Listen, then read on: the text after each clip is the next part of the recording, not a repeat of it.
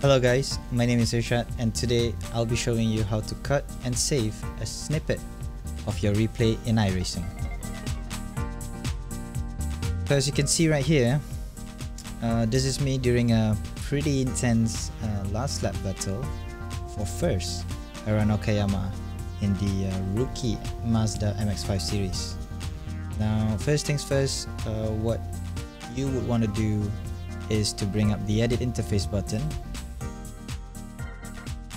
like this by clicking the uh, hammer and spanner button here on the right hand side. Now that will bring up the edit interface here on top.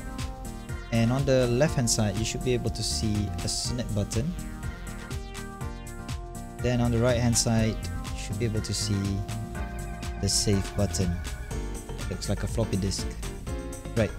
So you would like to save uh, for example an incident of a from a big replay file say like a, a whole race replay file and then you found a pretty uh, bad incident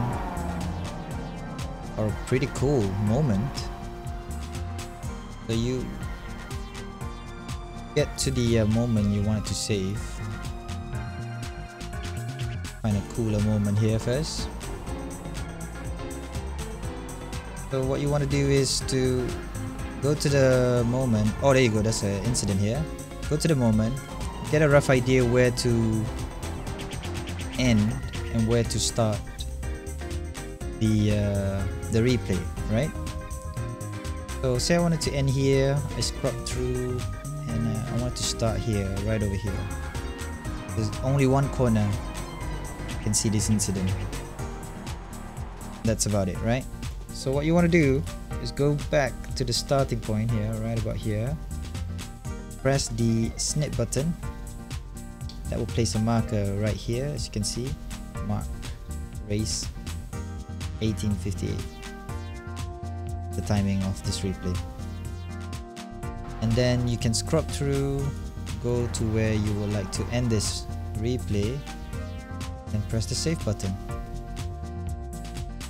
And you can rename it accordingly as you desire uh, let's say I would say uh, 3 in 1 overtake.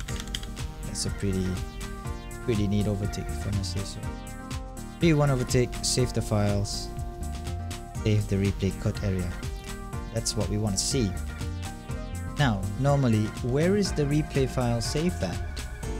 Well let me show you. The replay files is saved in documents open up File Explorer, go to Documents and go to iRacing folder. Find replay.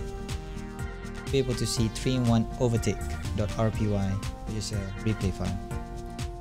And yeah, that's about it. If you have any other questions, send them in the comment section below. I'll do my best to attend to it. And uh, yeah, thank you very much for watching. Have a great day. Bye bye.